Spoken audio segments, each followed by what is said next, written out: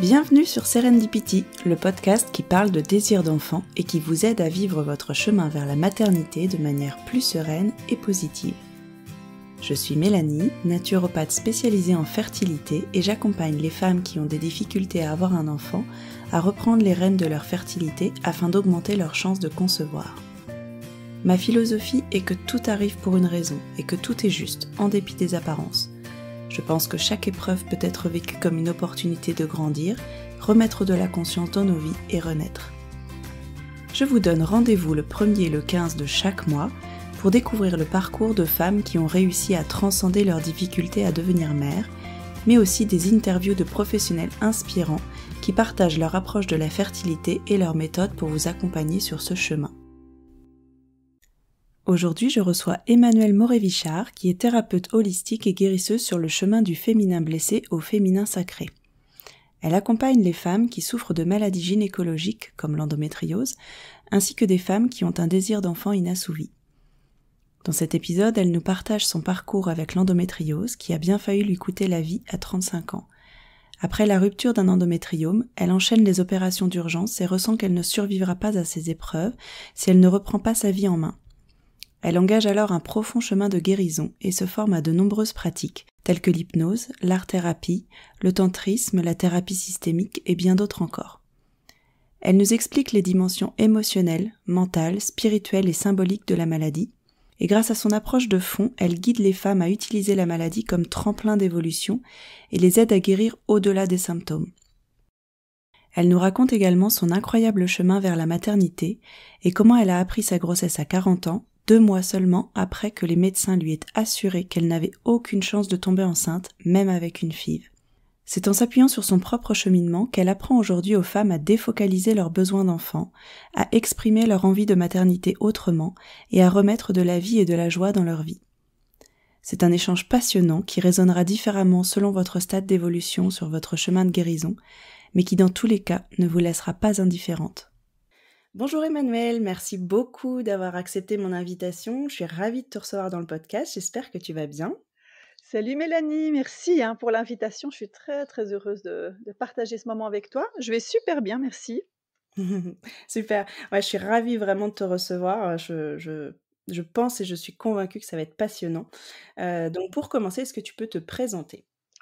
Oui, alors, je trouve toujours difficile de se présenter. Qu'est-ce qu'on va dire de soi et qui on est? Mmh. Alors, bah, déjà, peut-être au niveau professionnel, je suis, thérapeute et là aussi la définition est complexe pour moi. Je me qualifie de thérapeute holistique, parfois de guérisseuse, sur le chemin du féminin sacré, du féminin blessé au féminin sacré, pour faire très court et donc j'accompagne essentiellement des femmes qui souffrent d'une maladie gynécologique grave, telle que l'endométriose, dont j'ai moi-même souffert, mais aussi d'autres maladies, d'autres pathologies du féminin, vers la voie de la guérison au sens holistique du terme. Et puis, j'accompagne également des femmes qui ont un désir inassouvi d'enfant. voilà, ça, ce sont pour les, ça c'est pour les, la partie individuelle. Et puis, j'anime aussi des groupes autour du, du féminin, des énergies féminines et masculines. Donc ça, c'est un petit peu mon, ma mission, ma passion, le, cœur, de ce que je fais. Ok, super. Ok, et bah, du coup, c'est pour, pour cette raison que je t'ai proposé de participer au podcast aujourd'hui. on va vraiment parler de bah, tout ce qui est endométriose et maternité, enfin désir de maternité en tout cas. Et pour commencer, en fait, est-ce que tu peux nous expliquer, alors pour, pour l'avoir pratiqué, je pense que c'est difficile à, de mettre des mots dessus, mais est-ce que tu peux nous expliquer ta manière de travailler en fait? Comment tu abordes les choses et peut-être quel genre de personnes peuvent te, mmh, contacter?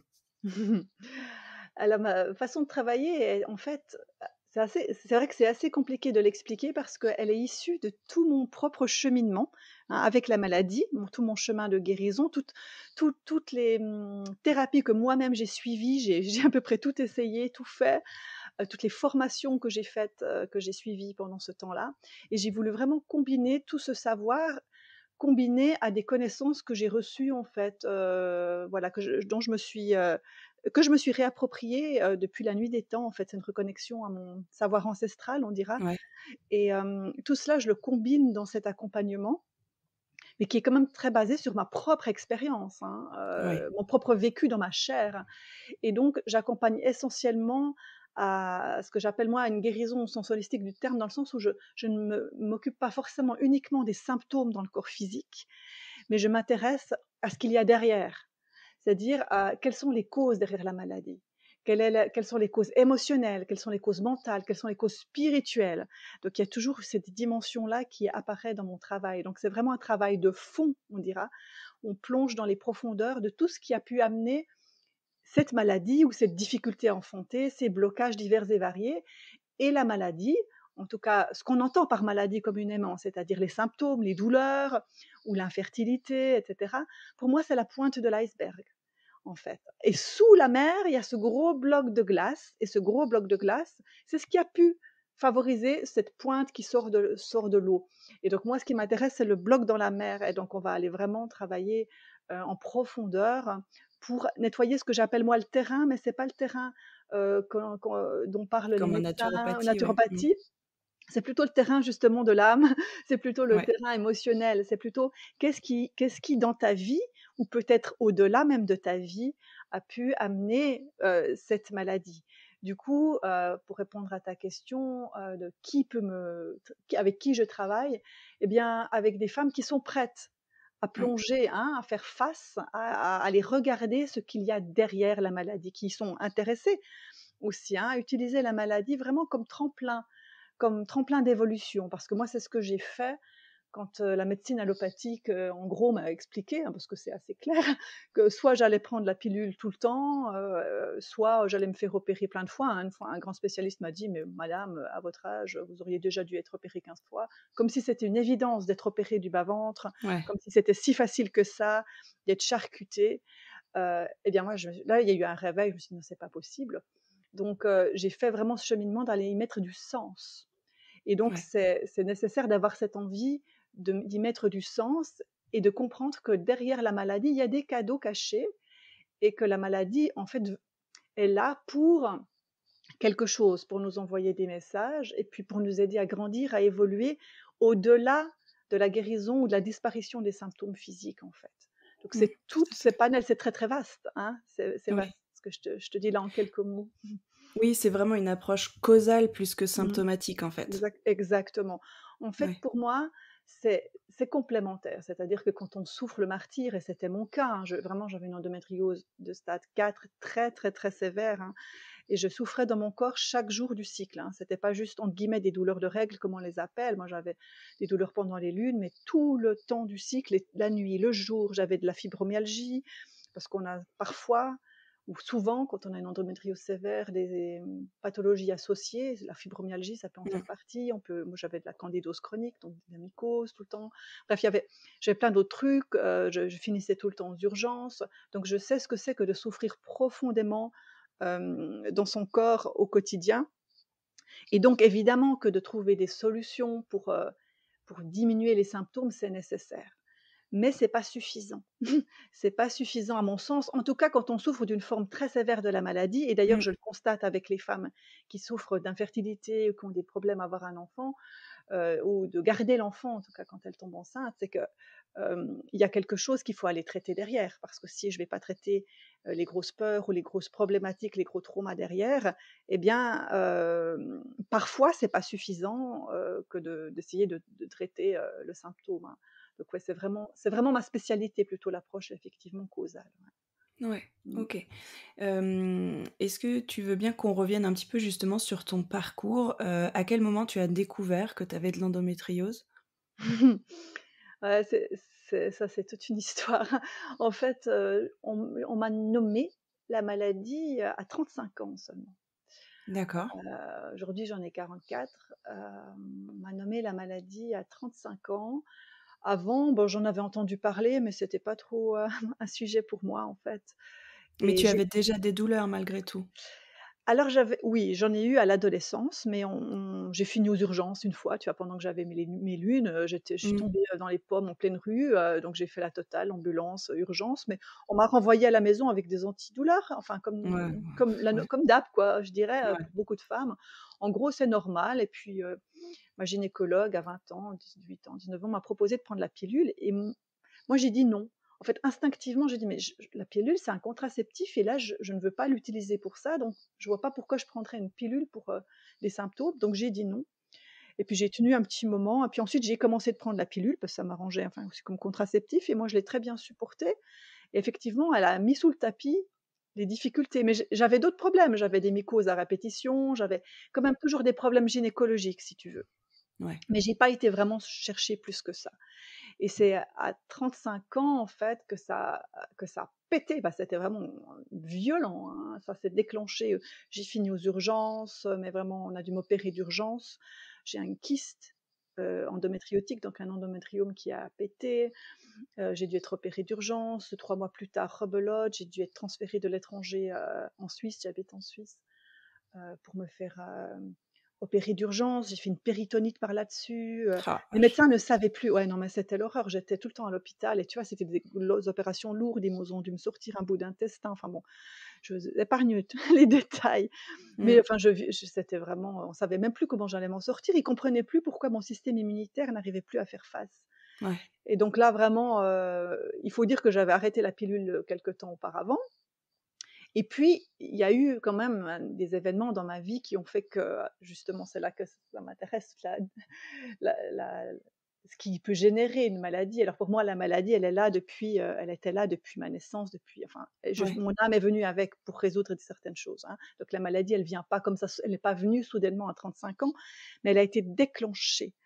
À 35 ans, j'ai vécu une grosse rupture amoureuse, donc un gros choc affectif qui a réveillé quelque chose en moi et en plus dans ma vie, ça n'allait pas vraiment. J'avais un job, en fac de médecine, heu, que j'aimais pas vraiment, heu, j'étais pas dans une vie que j'aimais, j'étais pas dans une dans des relations stables, enfin c'était ma vie n'allait pas en fait Mmh. et si tu veux la la maladie est venue me donner une grosse, grosse, heu, claque et ça a vraiment été d'u d'une violence extrême, heu, donc enfin ça s'est enchaîné quoi. J'ai eu des opérations tout le temps, mais c'était vraiment des opérations d'urgence, hein. Moi, ça a pas été Ouais. des petits, tu vois, des petites, opérations planifiées et puis, j'étais déjà quand même sur ce chemin de développement personnel, spirituel, donc j'étais déjà sur un travail sur moi, si tu veux, hein. Ça m'intéressait déjà, tout ce qui se passait en moi et cetera, mais là, ça a vraiment précipité le mouvement parce que c'était un petit peu, ce qui ce que j'ai entendu en moi, c'était soit tu t'y mets à fond, soit tu crèves, quoi. C'était vraiment ça. J'ai Ah ouais. vraiment cru, j'ai vraiment frôlé la mort, hein et j'ai Ouais. vraiment senti que Ouais. si je ne me laissais je me prenais pas en charge, j'allais en mourir et pour moi, c'était inconcevable de passer, du temps comme ça chaque année, sur une table d'opération. Enfin, tu vois, je sentais que je n'allais pas survivre à ça, à cette, Ouais. maltraitance parce que pour moi, ça a réveillé des mémoires de maltraitance, non pas de cette vie parce que je n'ai pas vécu de maltraitance physique dans cette vie, mais Ouais. d'autres vies. Donc c'était je les ai vécues ces opérations comme des viols, les les mots des médecins parfois très durs. Ouais.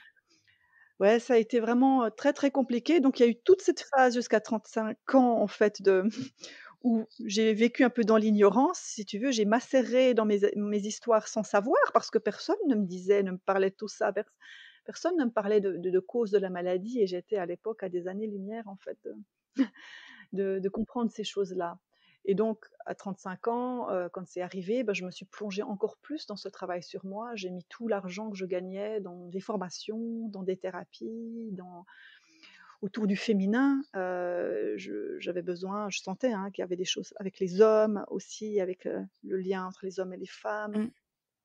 Et puis j'avais à cette époque, heu, bah, j'avais très envie d'avoir un enfant, puis j'étais pas dans une relation engagée, donc je me suis dit: «Ben, de toute façon», on m'a dit à cette époque qu'au vu de toutes les opérations que je que je vivais et puis de mon état, que jamais j'aurais d'enfant, donc j'étais déjà j'étais propulsée tout à coup dans un truc, hem, d'une violence extrême sur tous les plans, hein. Ah ouais.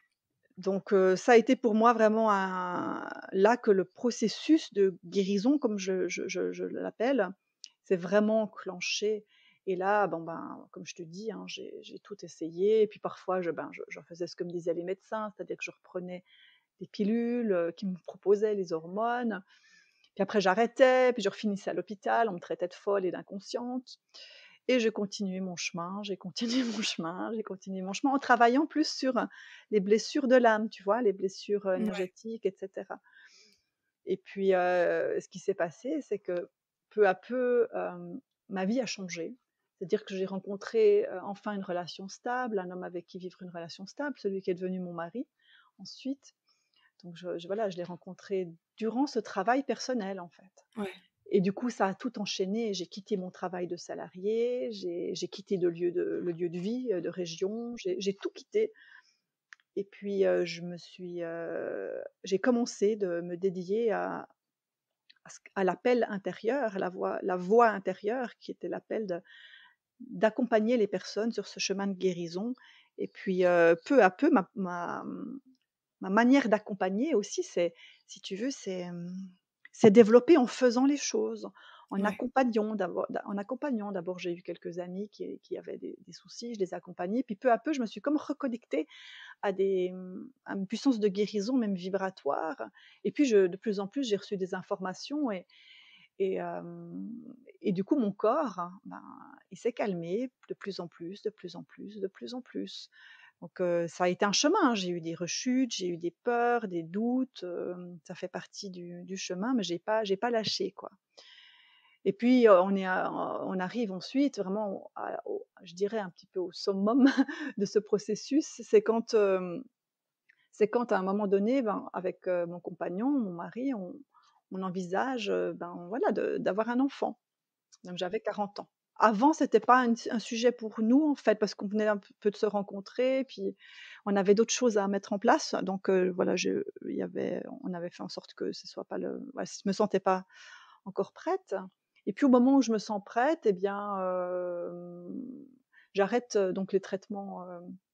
je voulais arrêter les traitements hormonaux, et là, j'ai fait un contrôle chez la gynécologue. Et puis, alors là, oh là là, oh là là, quel rendez-vous euh, mémorable où elle me dit, euh, elle me dit, madame, euh, il n'y a aucune chance que vous tombiez enceinte. N'avez plus de vos sites, vous êtes dans un état inflammatoire incroyable.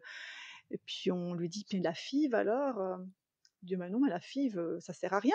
On va pas pouvoir faire de stimulation ovarienne, vous n'avez plus de vos ah sites.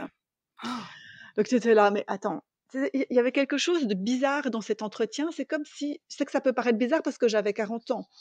Oui. Il faut quand même comprendre les choses. C'est totalement exceptionnel. Ce que je raconte dans mon histoire, c'est que je n'ai jamais essayé de tomber enceinte auparavant, jamais dans ma vie, puisque je n'étais pas dans des relations engagées ou qui me le permettaient. Et donc là, c'est comme si en fait, j'ai jamais essayé, tu n'as jamais essayé, puis tout à coup on dit, mais vous en aurez pas. Attends, mais attends, j'ai même pas fait une tentative. J'ai même pas commencé en fait. J'ai même pas commencé que déjà tu me, il y avait un truc, c'était pas possible, c'était, c'était à nouveau très très violent en fait cette, bah cette annonce. Hein. Et bon, bah, pour mon mari c'était compliqué aussi, donc on, est passé, on est rentré chez nous, ben, on était, on était ouais, on était mal. On a pleuré, on n'était pas bien. puis bon, mon mari est thérapeute et aussi, puis ensemble, bah, on a, il m'a aussi soutenu dans ce, dans ce processus de, bah, écoute, parfois on sera heureux quoi qu'il arrive, de toute façon. Hein, c'est pas le, c'est pas l'enfant qui va, qui va amener ton bonheur, etc. Et j'ai vraiment fait ce travail de défocalisation dont on va peut-être parler tout à l'heure. Et, et il se trouve que deux mois plus tard, j'étais enceinte. Deux mois plus tard. C'est fou. Deux mois plus tard et ouais, non, mais vraiment, c'est fou de chez fou, tu vois? Ça veut dire qu'il y a eu deux mois d'essai, puis encore même pas vraiment puisqu'on nous avait dit tu vois? On s'est même pas focalisé là-dessus, on s'est dit: «Bon, laisse tomber» et puis on a fait, bon, quand même un appel d'âme, ça, peut-être qu'on pourra y revenir. Mais on a lâché. On s'est dit: «Bon, ben, écoute, voilà, ma foi, c'est comme ça». Deux mois plus tard, je tombe enceinte. Alors là, ben évidemment, ça a été, j'ai eu une phase de déni hein, parce que je ne pensais pas que j'étais enceinte. Moi, je ne bah comprenais pas du tout ce qui se passait dans mon corps avec les symptômes que j'avais. Je pensais que j'avais de nouveau un kyste, tu vois. je me suis dit, bah, c'est rebelote et machin et tout. Et je suis retournée chez la gynécologue en pensant qu'elle allait de nouveau me trouver un kyste. Tu vois, c'est comme si j'avais perdu. En fait, au fond de moi, c'est très étrange, mais au fond de moi, j'avais, j'avais confiance et je savais et il y avait une partie de moi qui, comme pour beaucoup d'entre nous, ben, a quand même s'est laissé embarquer par ben, le discours oui, quand on te... des mots des médecins, ouais. Mais c'est ça, mais je veux dire, c'est pas facile de faire totalement abstraction. Ah bah tout, tout, parlait contre moi, et en plus j'avais l'âge quand même aussi. Enfin bref, tout, tout, tout, tout, tout, tout. Donc, et il y a tout le chemin de guérison que j'avais fait jusque-là. Tu vois, je me suis dit, je peux plus rien faire d'autre. Pour moi, c'était clair que je prendrais plus jamais d'hormones. C'était clair que je ne, je ne ferais plus subir ça à mon, à mon corps. Et bon, quand elle m'a dit que je pourrais plus que je pourrais pas avoir d'enfant et que même une FIV ne servirait à rien, j'ai eu un moment de soulagement parce que la FIV, en fait, il y avait une partie de moi qui sentait que je ne que j'avais plus envie qu'on me qu'on, s'immisce dans mon corps physique. Ouais, ouais, sais, je crois que les stimulations ovariennes et tout, je pense pas que j'aurais supporté en fait. j'avais plus envie qu'on me touche, qu'on me donc finalement, bon, il y avait un peu de, de, choses, tu vois, une grosse tristesse et puis en même temps presque un soulagement qu'elle me m'interdise en gros de me faire une FIV. Et en plus en Suisse, il faut dire quand même que les FIV ne sont pas prises en charge. Hein.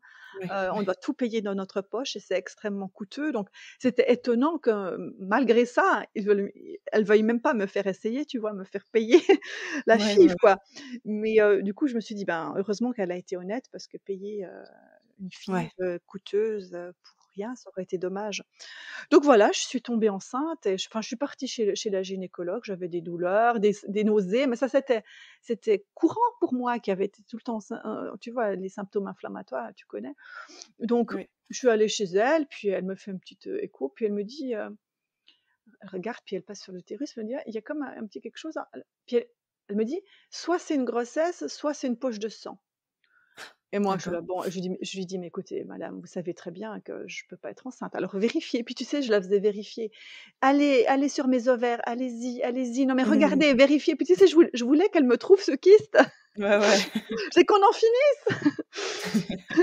non mais c'était, c'était incroyable cette situation. Et je ressors de là, elle me dit, non mais écoutez, euh, non, je ne vais pas vous, vous donner... Euh, parce que j'avais plus mes lunes.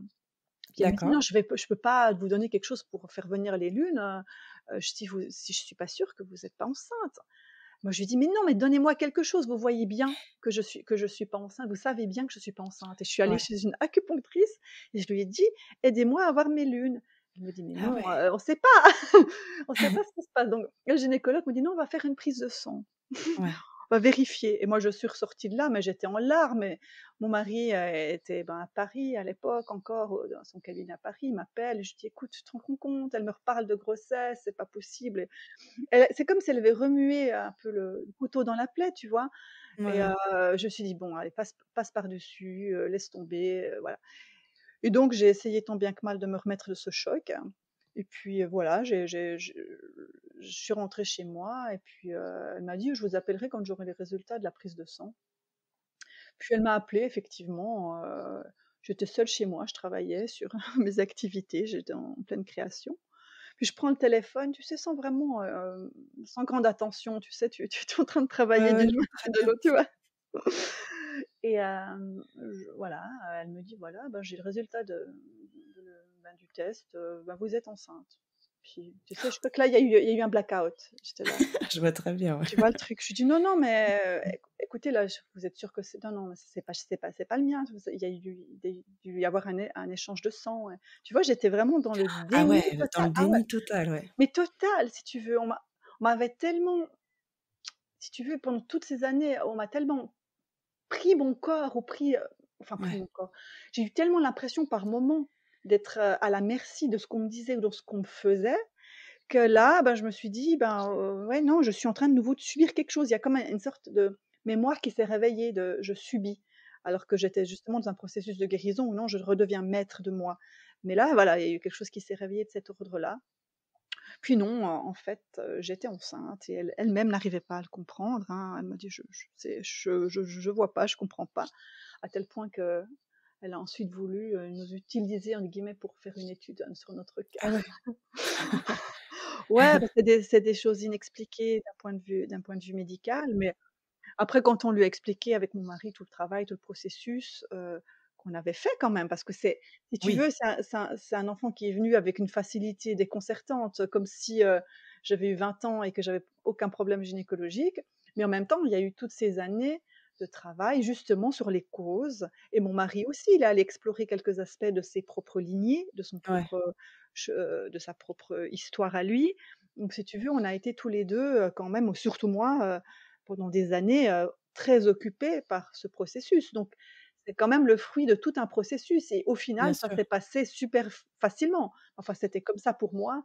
Mais voilà, donc moi, ça a vraiment été ce moment, ce moment où on m'a dit vous êtes enceinte, le moment où je l'ai accepté. Tu veux, ça a été intérieurement, j'ai dû, ça a été comme, il y a eu comme un déclic. C'est, j'ai été entendue et je sais maintenant profondément dans ma chair que la foi que j'avais ou que que cette volonté d'avancer aussi toujours sur ce chemin de guérison a payé d'une certaine manière en fait. Mais ça aurait pu ne pas arriver. Et si tu veux, j'étais en paix aussi avec ça.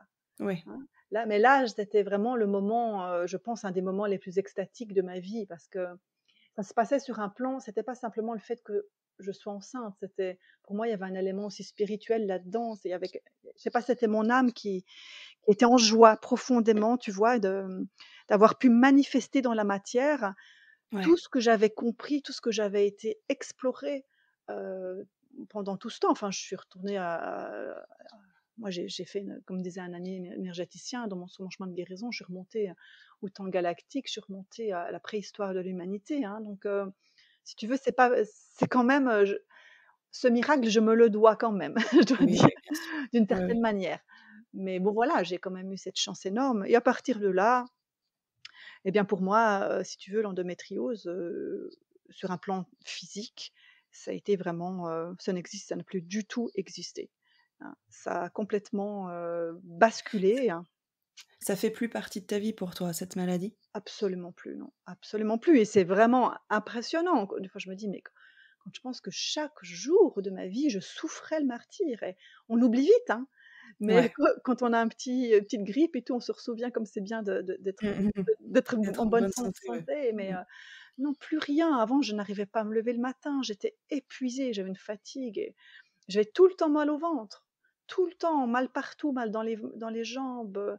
J'avais le ventre gonflé, j'étais grise, j'avais de la fièvre, des nausées, je vomissais tout le temps.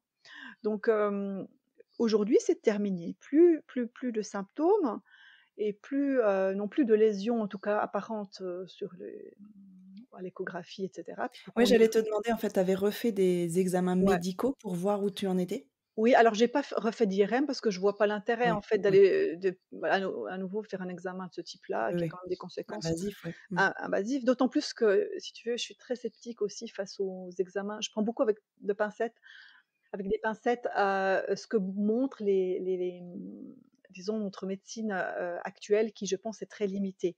je ne pense pas qu'on voit tout sur une IRM. Je ne pense pas qu'on voit. moi, on m'avait vu des choses partout, mais si tu veux, moi, j'ai des énergéticiens qui m'ont vu même des lésions dans, le cerveau, enfin partout. Hein. Et ça, on ne les voyait pas forcément à l'IRM. Mais après tout, c'est pas si important. Donc moi, je ne m'attache pas trop à ça, dans le sens où j'ai zéro symptôme j'ai zéro lésion visible, j'ai plus rien du tout et je sens. En fait, quand moi je parle de guérison, vraiment c'est une question de ressenti, c'est pas juste une question de disparition de symptômes, c'est que les symptômes associés, comme je les appelle, ont disparu. C'est-à-dire que je suis vraiment en paix dans ma relation de couple, avec mon enfant, au niveau professionnel, etc. Et je me sens apaisée à, tel point que je peux vraiment accompagner les femmes sur ce chemin de guérison et je, le sens au, plus profond de moi quand la personne fait ce clic, ce switch vers la guérison, tu vois? Mmh, donc ça c'est vraiment quelque chose à quoi je me suis reconnectée. Donc on peut pas, on peut jamais dire peut-être jamais, mais après tout, si tu veux, au fond de moi, je sais que c'est plus un sujet. C'est plus un sujet. Ouais, Non, mais c'est ça, c'est que quand souvent quand alors moi je suis pas, j'ai pas une, endométriose très avancée, puis mmh. j'en ai je, considère que j'en ai plus non plus. Mmh mais c'est vrai que les femmes qui sont atteintes d'une endométriose vraiment très avancée, souvent quand elles disent qu'elles se sentent guéries, c'est vraiment, voilà, c'est elles sont montrées du doigt, elles sont mais non, c'est impossible.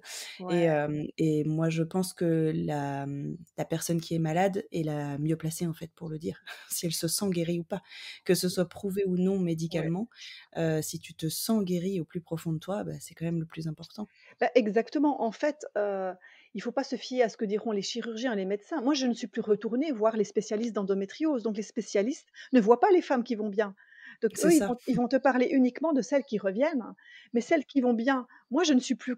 Si tu veux, si, je vais chez un gynécologue qui ne me connaît pas, qui ne connaît pas mes antécédents, il ne saura pas que je suis malade. Donc, c'est quoi la bonne santé? Je suis en pleine santé, euh, j'accomplis ce que j'ai à accomplir. Euh, je, suis en pleine santé au quotidien, sans, sans, sans, sans, sans problème. Donc, pour moi, ça, c'est la, guérison. Et comme je le dis aussi, j'ai tourné pas mal de vidéos à ce sujet. La guérison, de toute façon, pour moi, c'est pas uniquement la disparition de symptômes. Ça, c'est la cerise sur le gâteau.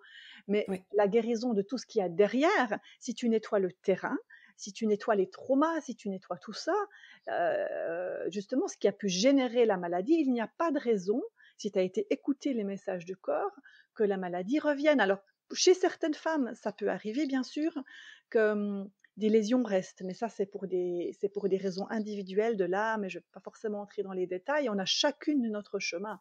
Mais si notre chemin, c'est de guérir en profondeur, eh bien, on peut.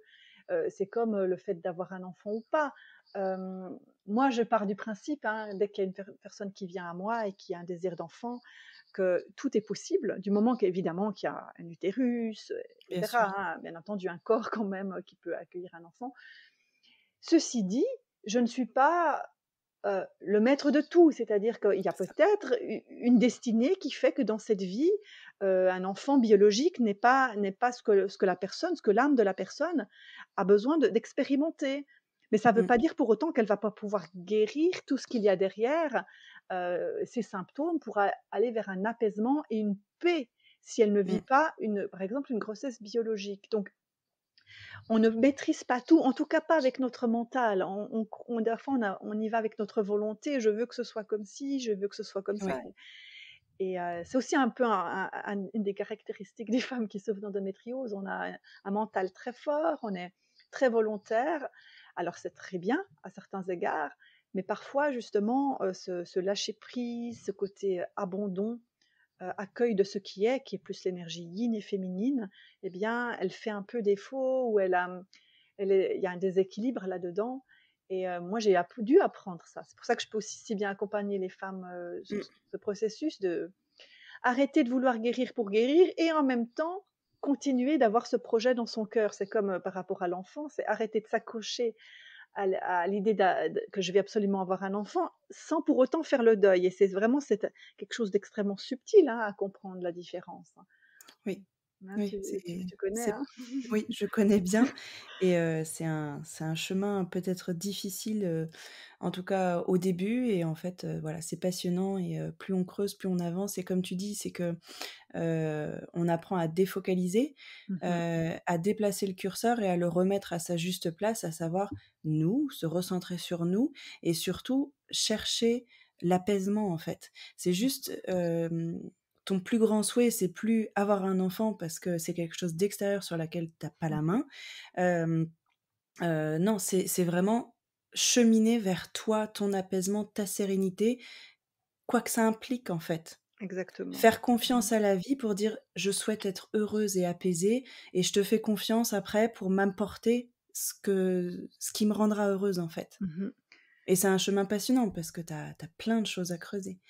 Et par rapport à l'endométriose, alors je mettrai le lien de ta chaîne YouTube qui est passionnante et tu as fait plein plein de vidéos. Et franchement, pour un premier, un premier pas en fait sur ce chemin, je, je pense que c'est l'idéal déjà pour voilà, voir ta, ta vision des choses, ta manière de mmh. travailler, etc. Euh, mais c'est surtout que ça peut apporter énormément pour euh, nous euh, quand on regarde ces vidéos pour vraiment commencer ce chemin et avoir des prises de conscience des choses. Il y a des choses qui nous parleront pas forcément parce qu'on n'est mmh pas encore prête à les entendre. mais voilà, ça, ça, créera, ça créera des déclics. Ça, voilà, il y a des petites graines qui se plantent. Mmh. et voilà, ça, doit, ça fleurit quand ça doit fleurir.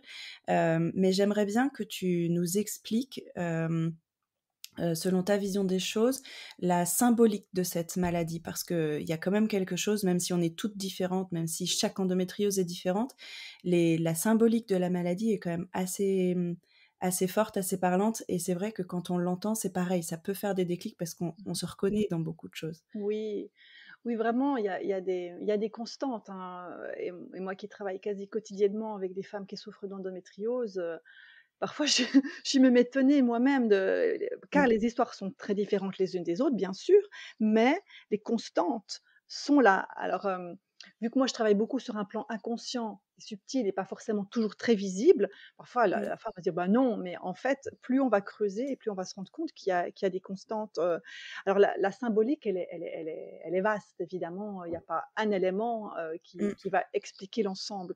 Mais déjà, se, se, dire que si on a de l'endométriose, eh bien, ça qu'est-ce que ça va toucher comme organe? Déjà, se poser ces questions-là. Ça va mmh. toucher les organes du féminin, de reproduction. qu'est-ce que ça signifie? L'utérus, à quoi il est relié? C'est quand même le nid, c'est le lieu de gestation. C'est l'utérus d'un point de vue énergétique, c'est quand même le, centre de notre puissance, hein, notre mmh. puissance féminine, notre puissance d'enfantement et de création. Mais quand je parle d'enfantement, je parle d'enfantement sous toutes ses formes, pas seulement l'enfantement d'un bébé, Mmh. la création. Et puis les ovaires, évidemment, c'est aussi l'ovocyte, hein, c'est vraiment une énergie de création.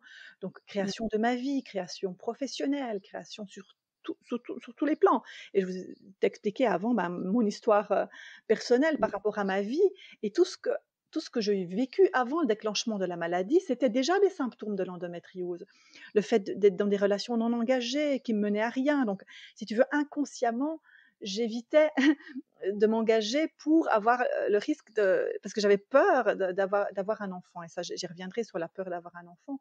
Malgré mes, mes mots hein, ma volonté d'avoir un enfant mais au fond de moi il y avait des grosses peurs.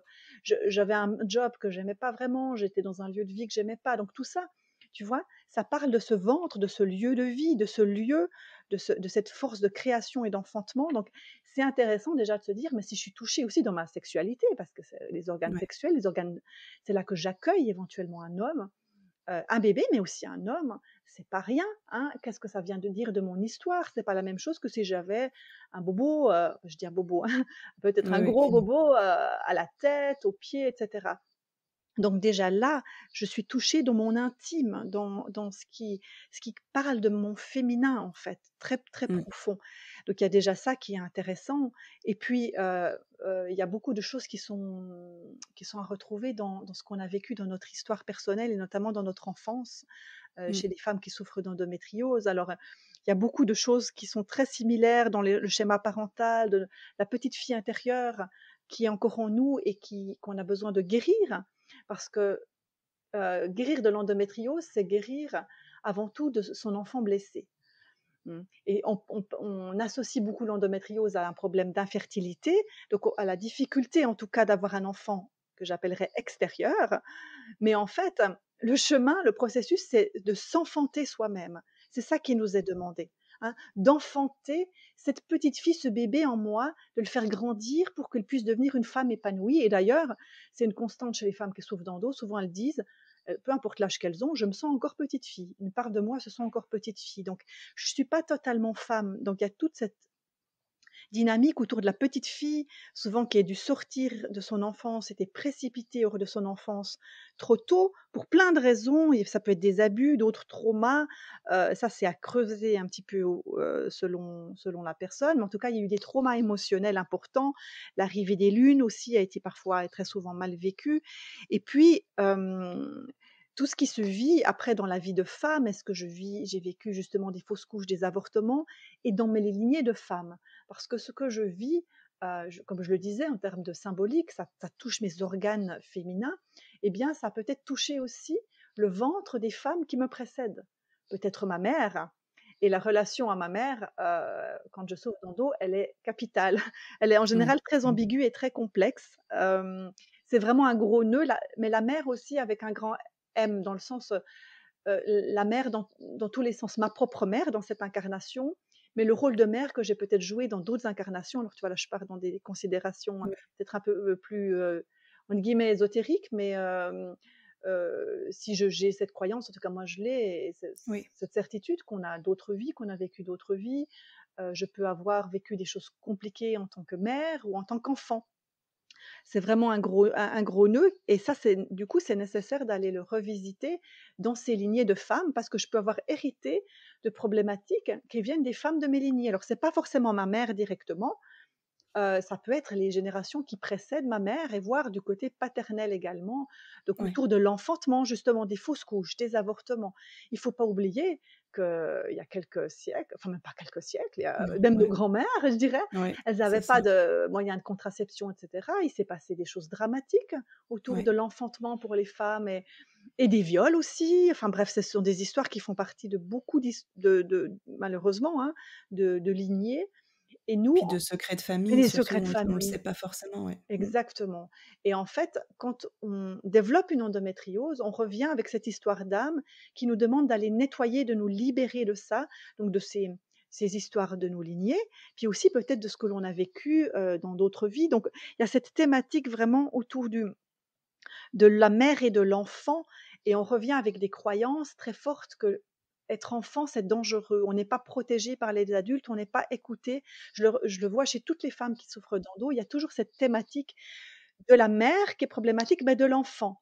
D'où la nécessité d'aller guérir son propre enfant intérieur et puis d'aller remonter parfois dans des expériences qui dépassent notre vie actuelle. Mais notre vie actuelle fait toujours remonter des émotions, de toute façon, même si elles sont, elles sont plus anciennes. Donc il y a vraiment tous ces sujets-là, si tu veux, c'est vraiment multifactoriel à aller creuser donc autour de, mmh, de l'enfant, de l'enfant intérieur, de la maternité, des traumas divers et variés. et puis, par rapport à la maternité, ce qu'il est important quand même de relever, c'est que quand on n'arrive pas à avoir un enfant, en particulier quand on souffre d'endométriose, et ça c'est difficile à entendre, mais je vais le dire, c'est qu'il y a une part de nous qui ne veut pas d'enfant. Hein. Moi, je l'ai entendu de la part d'un de mes thérapeutes, ben, voilà, dans ma vie passée là. et quand il m'a dit ça, j'ai reçu comme une claque et je me suis dit bon, je fais quoi? Je quitte son cabinet ou je reste? Et je décidé de rester, tu vois? Et j'ai bien fait. Parce que c'est une réalité et je sais que c'est ô combien difficile à entendre quand on a l'impression que de tout son être, ça vibre très fort. Je veux un enfant, je veux un enfant, je veux un enfant. Mais en réalité, ce qui se passe, c'est qu'en nous, il y a des conflits internes. Il y a une partie de nous qui est effectivement a très envie d'enfant, parfois de manière obsessionnelle.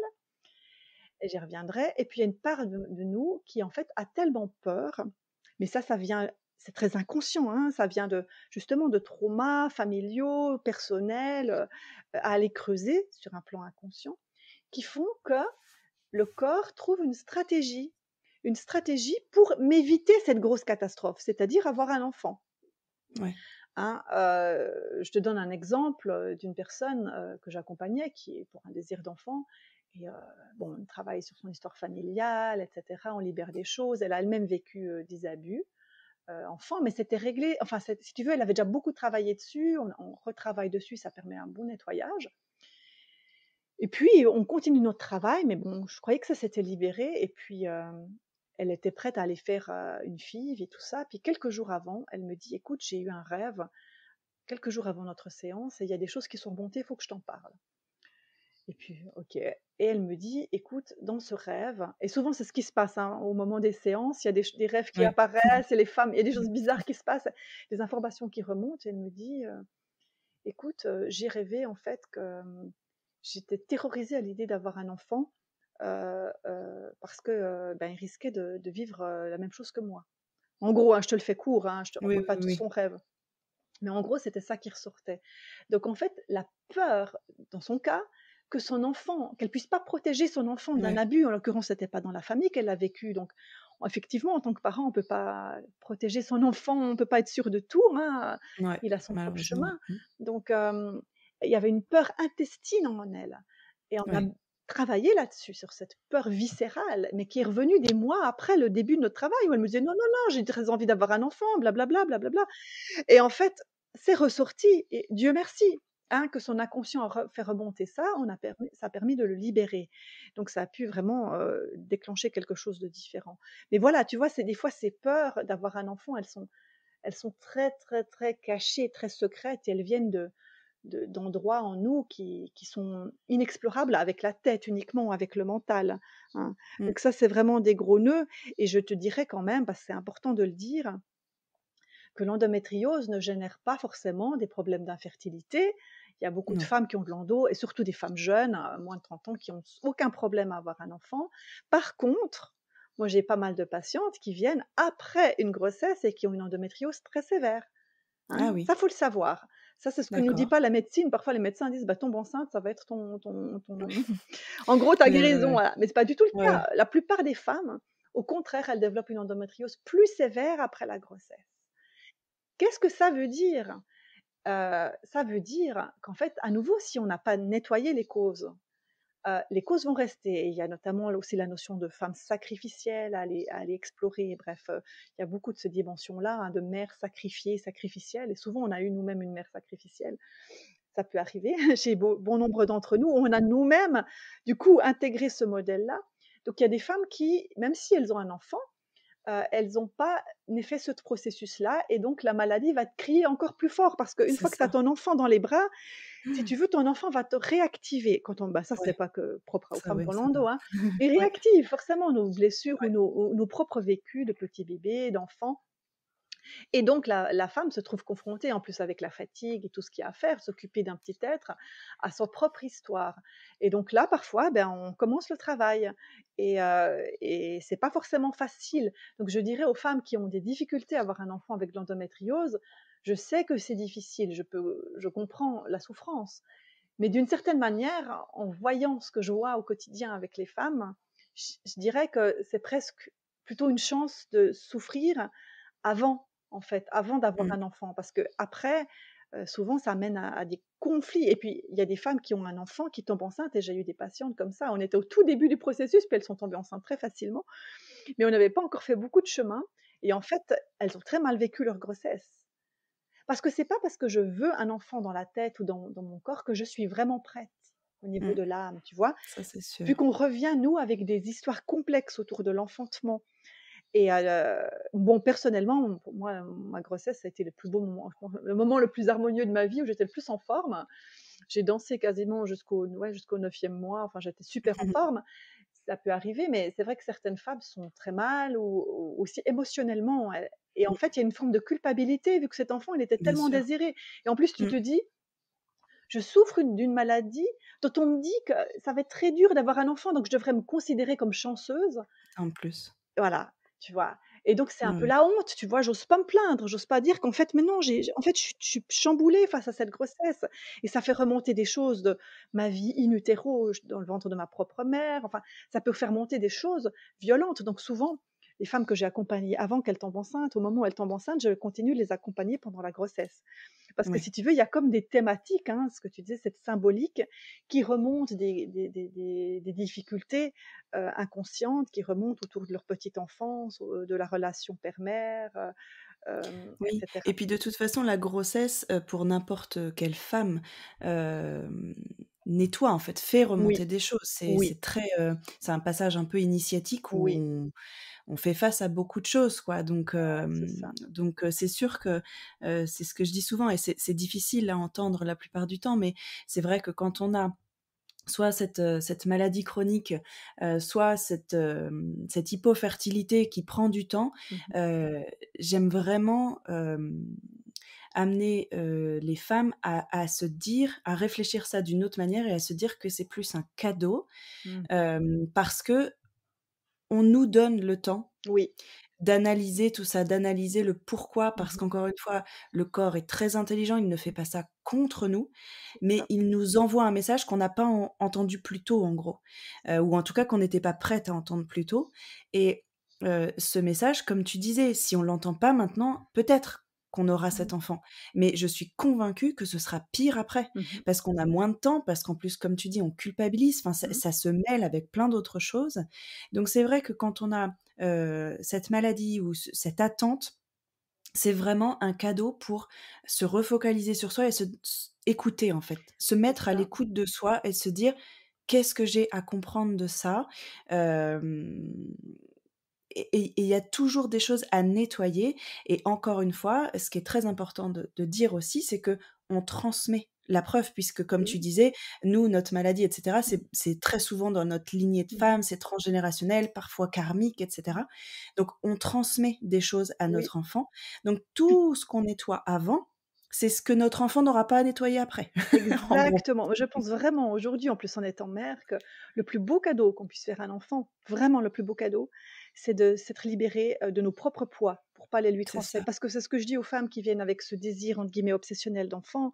Je leur dis, mais est-ce que tu as vraiment envie que ton enfant porte tout ce que tu, ce que tu as vécu? Est-ce que tu veux, est-ce que vraiment tu, tu souhaites qu'il soit ce bébé sur, qui, sur, les épaules duquel reposent toutes tes attentes. Est-ce que vraiment, imagine que tu sois prête à venir sur Terre? Est-ce que tu n'as pas juste envie d'être aimée pour ce que tu es et non pas parce que tu vas combler quelque chose ou parce que tu es l'objectif unique dans la vie de ta mère ou de tes parents? Enfin, C'est lourd à porter pour un enfant. Et effectivement, ça se transmet. Alors la maladie en tant que telle, moi je suis pas, non, pas forcément parce que des fois c'est des, c'est, d'autres problèmes gynéco, mais effectivement au niveau de la symbolique, au niveau des causes qui ont ça se transmet. Donc plus je oui, et ça, se, ça se matérialisera d'une autre manière chez lui. Exactement. Donc au point de vue de l'énergie, rien ne se perd en fait. Tout, tout se transmet. Donc effectivement, tout le processus aussi que, que, je fais beaucoup avec les femmes qui viennent avec un désir d'enfant, c'est que je vais travailler sur quand même sur les causes de l'endométriose. Je ne vais pas me précipiter sur, cette, sur ce désir d'enfant. Hein, et, parce que parfois on est impatiente, mais l'impatience nous fait perdre du temps paradoxalement. En fait, est-ce que tu es prête à t'accorder quelques mois, combien de temps, juste pour toi, pour justement t'enfanter toi et aller nettoyer ce que toi tu as nettoyé? Et on va donc défocaliser. C'est ce que tu dis, on va faire de cette aventure, de cette peut-être de cette attente, non plus une attente uniquement, mais une occasion, une opportunité d'aller guérir de choses qui sont c'est guéri pour la vie et même pas pour pour cette incarnation c'est, ton âme est guérie à tout jamais, si tu veux. Donc tu te libères de choses au-delà de ces, du fait juste d'avoir un enfant ou pas. Donc ça, c'est tellement vaste et tu guéris les lignées suivantes avec ça et les, les, lignées d'avant. Et en plus, tu contribues à la guérison des femmes de la terre. Donc c'est, vraiment une richesse en fait d'aller mmh. s'occuper de soi. Mais je sais, hein, je, je comprends la souffrance et j'aimerais insister quand même sur le fait que les femmes qui viennent à moi, en tout cas, après, je, de nouveau, c'est pas du 100%, mais j'en côtoie quand même beaucoup. Celles qui viennent avec ce désir d'enfant, ce désir que j'appelle obsessionnel. Hein, il n'y a, que ça depuis un certain nombre d'années, parfois des, tentatives inespérées euh, et multiples de filles, etc. Souvent, elles me disent, mais j'ai toujours su que je voulais avoir un enfant. Pour moi, c'est inné, c'est ma vie, c'est ma vie, c'est viscéral, c'est le sens de ma vie. Ben moi, la première chose que je leur dis, mais non, ça c'est la pathologie en toi qui parle. Alors ça fait mmh. bizarre, c'est peut-être une claque, mais c'est le cas. Et d'ailleurs, je, me rends compte hein, par rapport à ma propre vie que c'était le cas. Moi, j'ai joué aux poupées jusqu'à l'âge de 15 ans. Hein. Je voulais ah être nurse, je m'occupais des... Je ne m'intéressais pas aux Barbie, moi, je m'intéressais aux petits bébés, tu vois. Il n'y avait que les bébés qui comptaient pour moi. Donc, si tu veux, j'aurais vraiment... J'étais le prototype de la bonne maman, tu vois. et mmh. toutes les femmes qui souffrent d'endo me disent ça, mais j'aimais tellement les bébés, les enfants, et mmh. puis ci, et puis ça. Et en fait, ça fait partie du problème parce qu'il y a une forme de focalisation qui vient d'ailleurs. En fait, c'est comme si c'était notre enfant, notre bébé intérieur qui appelle à l'aide. Et animant des cercles de femmes quand même depuis un certain temps, quand on vient sur cette thématique ou quand on vient à parler des rêves d'adolescence, c'est très intéressant. J'ai des femmes qui souffrent d'endo et des femmes qui, femmes qui souffrent pas d'endo. Et les femmes qui souffrent d'endo, il y a toujours la combinaison de «Euh, j'aurais voulu avoir une famille, des enfants, etc. Elles arrivent à 40 ans dans le cercle, elles n'ont pas d'enfants. Puis tu en as d'autres qui ont deux, trois, quatre enfants qui n'ont pas d'endo, puis elles, elles te disent, moi je voulais être libre, je voulais voyager, je voulais ci, je voulais ça. Elles sont focalisées sur elles. Donc c'est quand même étonnant. Hein. Plus on est, on est centré sur ce besoin, comme si l'enfant allait résoudre quelque chose dans notre vie, mais en réalité, ce que recherche notre âme, c'est la résolution de quelque chose à l'intérieur de nous. Et quand on a le nez dans le guidon, hein, comme je l'ai eu, hein, c'est très difficile à entendre. Mais c'est pas possible. Écoute-moi, non mais regarde, moi, ça, de tous mes pores sort l'envie d'enfant. Mais non, mmh. je t'assure que non. Enfin, je nuance. Ça ne veut, veut, pas dire que j'ai pas une envie profonde d'enfant et que je n'en aurais pas. Mais cette, envie obsessionnelle, elle parle de quelque chose. Et parfois, c'est tentatives obsessionnelles. Donc, toute une partie aussi de la démarche, en tout cas que je, propose moi, hein, et toi aussi, je pense, consiste à vraiment à, défocaliser, à aller vraiment euh, s'écouter, à prendre ce temps. Et c'est très intéressant parce que souvent, quelques semaines, quelques mois après le début de l'accompagnement, on parle même plus du projet d'enfant. Alors parfois, soit la femme elle tombe enceinte et puis c'est plus le sujet, tu vois, ça vient tout seul, ah bah tiens, je suis enceinte. Soit en fait, moi, je, sans insister, hein, moi j'ai toujours ce focus, bien entendu. C'est pas que j'ai oublié ce, désir de la femme, mais je la fais travailler sur d'autres choses, lui fait, la faire reconnecter à sa créativité, à sa joie, etc. Et puis, automatiquement, c'est la femme qui va dévier. Alors, elle garde dans son cœur cette envie, bien entendu, bien sûr, mais elle va dévier son centre d'attention. Là, c'est qu'il y a des choses merveilleuses qui se passent parce que tout à coup, la femme, mais waouh, il y a, y a, comme, si tu veux, quelque chose, mais de juste de merveilleux qui se passe. je vois des êtres vraiment s'illuminer. c'est comme un alignement en fait qui se fait. C'est ça. Et je te vais partager maintenant une histoire que je trouve très touchante d'une femme que j'ai eue dernièrement et qui souffrait pas d'endométriose à proprement parler, mais c'est une autre pathologie de l'utérus qui l'empêchait d'avoir un enfant. Et elle est venue, donc elle m'a découverte via mes, ma chaîne YouTube, bien qu'elle n'ait pas d'endométriose, mais ça lui a parlé, ma façon de travailler. Et on a travaillé sur son histoire. Elle a vécu, elle a perdu sa mère dans des conditions, circonstances très pénibles quand elle était petite fille. Bref, il y a eu toute une histoire, toute une énergie de mort, parce que ça aussi c'est quelque chose d'important en parlant de symbolique, l'énergie de mort qui est dans la lignée, dans les, dans les utérus des femmes, bref, à les nettoyer. Et donc on a fait tout, tout un travail. Et ça faisait plus de 10 ans, plus de 15 ans qu'elle essayait d'avoir un enfant. Et puis c'était un peu le dernier essai, si tu veux proche des 42, je sais plus, je crois qu'en France, je sais plus à quel âge vous avez vos. C'est 43. Voilà, bah justement, elle approchait vraiment, tu sais, de l'âge où pour la fille, on, l'autorisait. Ouais. Donc on a fait tout ce travail, mais vraiment profond, profond, profond, et on y allait, et, ça, faisait des allers-retours. Et puis peu à peu, elle se détachait en fait de cette, ce désir absolu d'enfant. Tu vois, peu à peu, mmh. elle se disait, mais voilà, je suis de mieux en mieux dans ma vie, ok, j'ai des projets. Et puis, elle a fait dernièrement, sa dernière tentative, elle avait un ovocyte, euh, enfin un, embryon congelé. Mmh. congelé. Donc, bah, elle est allée jusqu'au bout du processus. Je me suis dit, bah, c'est bien, hein, il faut, faut, le faire, évidemment. Donc, elle l'a fait et ça n'a pas marché. Mmh. Mais en fait, cette fille, elle m'a, on en a parlé ensuite, elle m'a dit, mais tu sais, je te remercie tellement, c'est comme si c'était une renaissance pour moi que ça n'ait pas marché. C'est que c'est paradoxal hein, ce que j'explique, c'est subtil. Hein. En fait, c'est comme si elle avait bouclé la boucle avec toute une force. de fermer voilà. Elle avait besoin de fermer cette boucle un peu d'acharnement et, et, pour elle, dans son histoire, cette dernière fille, c'était comme si c'était ok, maintenant j'arrête, j'arrête de me focaliser là-dessus. Et il y a eu comme un soulagement intérieur, si tu veux, parce qu'elle est allée au bout et mmh. intérieurement, elle a fait un tel chemin, tel, enfin, j'honore vraiment son chemin, je, suis admirative et elle a, elle a, résolu tellement de souffrances en elle euh, mmh. qu'aujourd'hui, elle est tellement bien que moi, je sens, euh, je sens que ça peut venir naturellement. Mais ça, voilà, c'est son histoire, ça viendra quand ça viendra. Et même si ça vient pas, je te dirais, on l'a préparé à la maternité d'une autre façon, parce qu'il y a plein de façons de devenir mère avec un grand M. Hein, et c'est pas juste le fait d'enfanter biologiquement qui fait de nous une mère, de loin pas.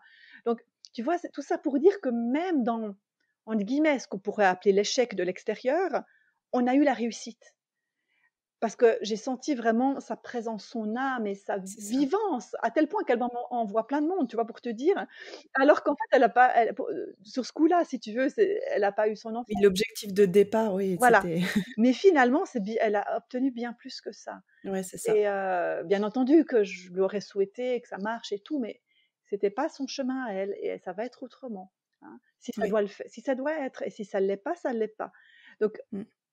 tout ça pour dire que mmh, justement, ce chemin, au travers de cette symbolique, au travers de ce que l'on a vécu, c'est tellement puissant que, enfin, moi, je le recommande à chacune, quel que soit son chemin, parce que c'est pas du temps perdu, c'est pas de l'argent perdu, c'est vraiment, enfin, toi, tu l'as vécu, tu peux aussi en parler, mais, enfin, mmh. pour moi, hein, quoi que je vive, peu importe ce que j'allais vivre, si tu veux, j'étais en paix.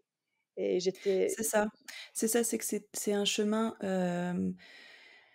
vers l'acceptation déjà de la situation, de prendre aussi, d'avoir un de prendre de la hauteur en fait sur tout ça et de défocaliser pour, remettre au centre ce qui est vraiment important. Mmh Et c'est-à-dire que ce qui est vraiment important, ce qu'on cherche en fait, ce que je disais, pendant très longtemps, ce ce besoin, c'était même plus j'avais j'avais envie d'avoir un enfant, c'était un besoin Mmh viscéral. C'est devenu vraiment, comme tu dis, obsessionnel, mais c'était quand tu dis: «Tu as besoin d'un enfant», déjà dans la dans la phrase, tu tu entends Mmh qu'il y y a quelque chose qui va pas.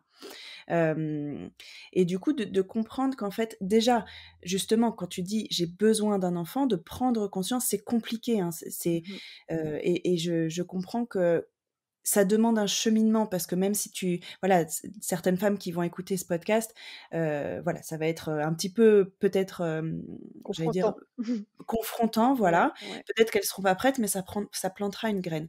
C'est juste que moi, j'ai vraiment pris conscience quand je quand j'ai j'ai j'ai je me suis entendue dire que j'avais besoin d'un enfant, que c'était ni bon pour moi, ni bon pour mon couple, Mmh. ni bon pour cet enfant, en fait. Mmh C'est bon pour personne, en fait, dans Mmh l'histoire et c'est vrai que ce travail, heu, de de défocalisation et de de de prendre de la hauteur et du recul sur, heu, sur tout ça, hem, j'ai vraiment compris que j'avais envie d'un enfant parce que j'avais l'impression que ça me rendait heureuse. Ouais. Donc mon objectif final, c'était d'être heureuse Voilà. et aujourd'hui, je me dis: «OK, donc tout ce que je recherche dans ma vie là, c'est de me sentir bien, sereine, apaisée et heureuse» Mmh. et en fait, ne pas chercher à comprendre de quelle manière on sera heureuse et épanouie, faire confiance à la vie aussi, de ce Mmh. qu'elle peut nous apporter parce qu'en fait, il y a tellement plus de possibilités qu'on ne pense Mais oui. c'est que et en plus, vraiment, je je le dis souvent et c'est pareil, c'est quelque chose peut-être de compliqué à entendre, mais quand on a l'impression qu'un enfant est la condition à notre bonheur, pour moi, il y a de très grands de très grandes chances, mais plutôt très grands risques malheureusement, Mmh. que ce ne soit pas le cas. Oui. Parce que comme tu dis, en fait, la maternité, c'est quelque chose de très compliqué, même si on a vécu des parcours hyper difficiles, même Mmh. si on le veut du plus profond de notre cœur et qu'on est prête et cetera, c'est compliqué Mmh la maternité. Mmh. et si on a idéalisé à ce point et si on a attendu à ce point ce bonheur extrême et qu'on s'en est fait une vision assez Mmh. précise, il y a de très très grandes chances que qu'elle ne corresponde pas, que la réalité corresponde pas à notre idéalisation à notre idéal.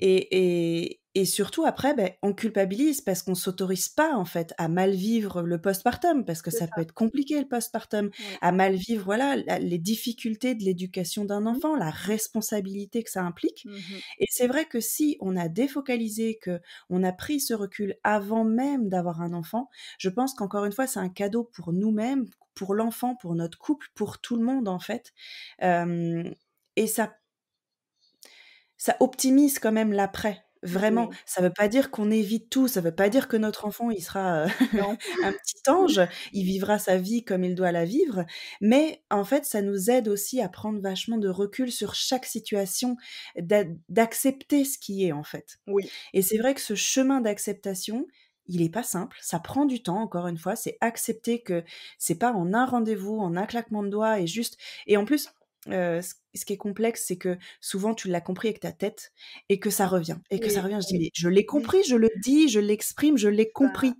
Non, au Mais fond de toi, cellulairement parlant, c'est pas intégré parce que ça prend du temps, parce Mmh. que c'est quelque chose qui est en nous et comme tu dis, la maladie ou même voilà le sans parler d'endométriose, quand tu es en infertilité inexpliquée et Mmh.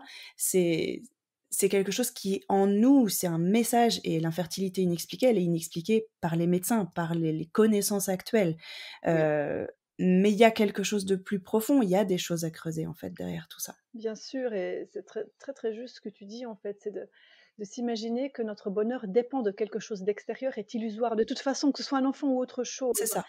et c'est pour ça d'ailleurs que je définis toujours les objectifs, heu, avec, heu, les femmes que j'accompagne au début et pour moi Mmh. l'objectif doit être beaucoup plus vaste. C'est mon épanouissement, c'est mon bien-être, c'est le bonheur, en fait, c'est ce qu'on cherche tous et toutes. C'est ça. Après les moyens, heu, les moyens pour y arriver, ils sont divers selon nos vies, se selon ce qu'on a à vivre. Alors ça veut pas dire qu'il faut pas faire en sorte évidemment du mieux qu'on peut pour aller vers, vers, quelque chose qui est très important pour nous. Hein. Ça ne veut pas dire qu'il faut être fataliste non plus. Mais au bout d'un moment, c'est vraiment cet équilibre. C'est vraiment un travail d'équilibriste. Et comme tu dis, c'est un chemin. Ça ne se fait pas d'un jour à l'autre. Se mmh. dire, ben voilà, j'accueille ce que la vie me propose. Au bout d'un moment, j'ai plus trop le choix, tu vois. Et moi, j'ai vécu la même chose que toi. Hein. Il y a eu des, des périodes, mais bon, j'étais encore dans des relations non engagées, tout ça. et je voyais le simple fait de voir une poussette me faisait pleurer Ouais. Je dis, il y a un mmh. problème quand même, tu vois? Et le moment où tout à coup j'ai pu de nouveau avoir de la joie et du plaisir à, jouer avec les enfants de mes amis, je me suis dit, bon, bah, c'est déjà bien. Et puis à un moment donné, j'étais en fait en joie euh, de voir des bébés en fait dans la rue, etc. Et je disais ça c'est très bon signe, tu vois, c'est très bon signe. C'est-à-dire que je me réjouis pour les autres, je me réjouis de cette vie parce que finalement, pourquoi est-ce que ce devrait être le mien aussi uniquement? Qu'est-ce que ça dit de moi? Est-ce qu'il n'y a pas, ça. tu vois, qu'est-ce que ça dit de cette volonté euh, d'avoir le mien, euh, pourquoi le mien? Et, en fait, ce qui est aussi intéressant dans ce processus qui peut prendre du temps, c'est d'aller s'interroger sur nos valeurs et pourquoi est-ce que je veux un enfant? Et ça, je, le demande aussi aux femmes toujours. Et moi, j'ai fait ce processus. Qu'est-ce qu'il y a derrière? Et moi, je, me suis rendu compte que j'avais deux valeurs fondamentales là derrière, deux envies. C'était la transmission et l'amour. Donc, j'avais besoin de ce partage d'amour, envie de ce partage d'amour et de transmission. Et du coup, je me suis rendu compte que si je n'avais pas d'enfant, c'était ces valeurs-là que je devais, qui étaient importantes à mon bonheur. C'est-à-dire que je devais les combler. Donc la transmission, je l'ai via mon travail, l'amour aussi en partie, mais je sentais, j'ai compris pourquoi l'enfantement était important pour moi. C'était pas juste pour faire une petite prolongation de, mon couple ou de moi. Tu vois, une fois que j'ai sorti de ces envies égotiques, parce que souvent il y a une part égotique aussi, hein, Bien sûr. chez tout le monde, hein, de toute façon, en partie toujours, mais, mais en grande partie, une fois que tu es sorti de là, pourquoi réellement qu'est-ce que je veux réellement vivre avec, un, avec cet enfant? C'est ça. Et du mmh. coup, si je sais ce que je veux vivre, ça veut dire que si je n'ai pas cet enfant biologique, ben peut-être qu'il y a d'autres mmh. façons déjà d'avoir un enfant. Hein, premièrement, l'adoption, ou, aussi, don d'ovocytes, je ne sais pas. Et puis, si c'est pas de cette manière-là, je vais le vivre autrement. Et moi, je m'étais déjà mis en tête d'autres projets. Tu vois, je savais que l'enfant, c'était important pour moi. Donc, je me suis dit, ben, moi, j'irai faire du bénévolat dans les hôpitaux ou je partirai dans des orphelinats pendant mmh. mes vacances, ou je sais pas. tu vois, j'avais déjà développé des projets pour combler à quelque part cette envie profonde. Hein, si ça se manifestait pas sous la forme d'un enfant biologique. Et ça, ça C'est ça, et ça, ça permet de... Encore une fois, on n'est pas en train de dire de mettre de côté et d'oublier ce projet. C'est juste que tant qu'il n'est pas là, c'est vous avez les moyens de ressentir ce besoin de maternité et d'assouvir en fait ce que vous voulez transmettre via la maternité d'une autre manière. En attendant de pouvoir le faire avec votre enfant d'une manière ou d'une autre.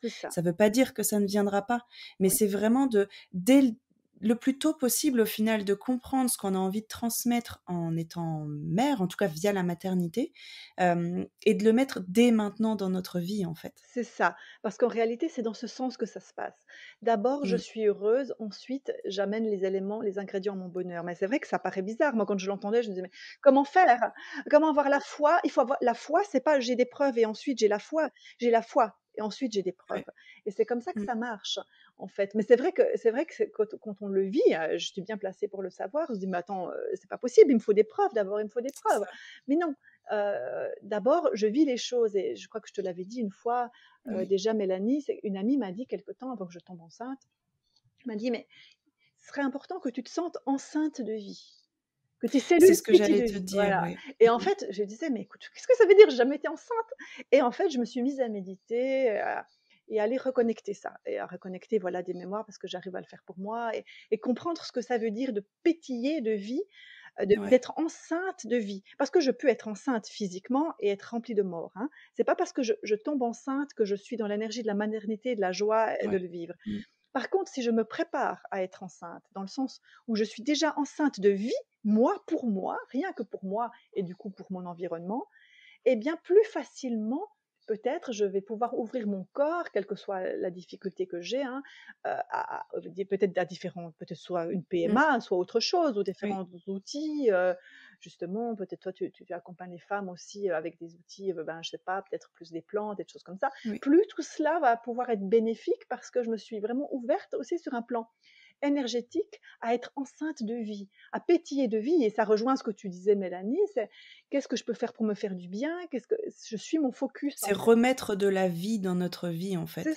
Parce que c'est vrai que ce, désir d'enfant, comme tu dis, en fait, ça, ça met plus ou moins tout en pause. Tu as l'impression que tout est au ralenti autour de toi et que c'est vrai que tout est gris, tout est terne et qu'en fait, tout paraît triste, quoi. Et mmh c'est vraiment et c'est pas facile, hein, clairement, ça, ça, demande encore une fois du temps. C'est pas du jour au lendemain qu'on mmh. décide. C'est pas en, enfin, c'est en le, choisissant, mmh mais c'est pas tu le décides et puis tu l'es. C'est beaucoup plus subtil que ça, beaucoup plus long. C'est un travail interne et c'est pas un jour tu te réveilles et puis oups, ça va, tout, tout va bien et puis finalement tu vis super bien l'attente. C'est vraiment petit à petit choisir de se remettre au centre de, notre vie et remettre de la joie et de la vie petit à petit. Et c'est vrai que ça me fait penser que moi, quand j'étais dans ce processus-là, j'avais l'impression de trahir quelque chose, tu vois, de trahir ce projet d'enfant, comme si j'avais pas le droit d'être heureuse tant qu'il n'était pas là, parce que parce que voilà, ça faisait tellement d'années que j'étais malheureuse du fait qu'il ne, de ne pas avoir d'enfant. Bah, tout d'un coup d'être heureuse, je me dis mais c'est terrible quoi. C'est ouais, c'est comme si mmh quelqu'un ouais était mort, t'avais pas le droit de te réjouir mmh quoi. Mmh et, c'est vrai que c'est compliqué à entendre. Je, je, je, le comprends puisque je l'ai vécu, mais voilà, petit à petit, remettre de la joie. En fait, faire quelque chose qui vous fait du bien tous les jours. Et comme tu dis, quand souvent aussi, dans ces parcours, il y a beaucoup de reconversion professionnelle mmh. parce qu'il y a beaucoup de, de, prise de conscience que je suis pas à ma place, je suis pas bien dans ma vie. En fait, ça, ça me rend pas heureuse, quoi. Et rien que de commencer par ça, c'est le début d'un chemin aussi qui où on lâche en fait, où on trouve du plaisir dans notre vie avant d'avoir euh, cet enfant désiré, etc., de pouvoir transmettre euh, ce qu'on a envie de transmettre. C'est vraiment remettre de la joie sur tous les plans. Et encore une fois, si vous êtes aligné sur tous les plans, si on trouve du plaisir dans tous les plans de votre vie, c'est aussi ça le, meilleur exemple que vous pouvez donner à votre enfant. C'est ça. C'est d'être une, mère heureuse, d'être une, une, mère bien dans sa vie, qui fait des choix alignés. Et c'est ce que vous souhaitez pour votre enfant. Donc souhaitez-le vous pour vous en premier, en fait. Mais c'est ça, en fait. un enfant, il a besoin d'une maman heureuse. Hein, hein, enfin, il a besoin. En tout cas, je pense que c'est un très beau cadeau. des parents heureux, tout simplement. Des parents, mmh. évidemment, avec des hauts et des bas. Hein, on n'est pas en train de viser une mmh. perfection. Mais en tout cas, des, mmh, des êtres qui prennent soin d'eux, parce que quel est le meilleur exemple qu'on peut donner à quelqu'un d'apprendre à, prendre soin de soi au mieux? C'est ça. C'est vraiment, euh, en fait, on éduque par l'exemple, hein. on n'éduque pas par les mots, on éduque beaucoup par l'exemple, donc par ce qu'on vibre, par ce qu'on est. Et euh, il y a aussi la, vie de couple, en fait, quand même, que euh, j'aimerais souligner ça. Au-delà de l'enfant, l'enfant, l'enfant, ça peut aussi casser les couples. Hein. faire très attention parce qu'il y a ce focus aussi de revivre sa vie de couple, sa sexualité, au-delà de juste j'ai envie de tomber enceinte, parce que ça peut aussi bloquer les hommes. Ça, Bien sûr. Et, quand l'enfant va, va arriver, il faut pas croire que ça va faciliter la vie de couple, hein, parce qu'il y a un enfant, mmh. il y a un être en plus, de la responsabilité en plus. Donc, un défi, des joies en plus, mais aussi des défis en plus.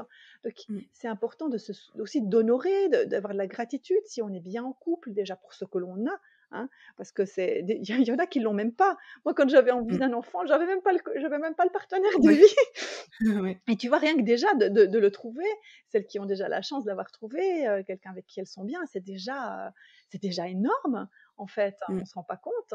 Et puis euh, de pouvoir se lever le matin en étant bien.